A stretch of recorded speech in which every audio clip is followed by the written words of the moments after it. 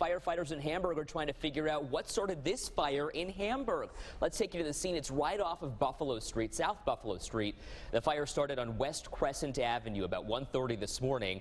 Firefighters tell 7 Eyewitness News the home was empty and no one was hurt. It started in a wall outside the house. No word, though, on what might have caused this fire. Buffalo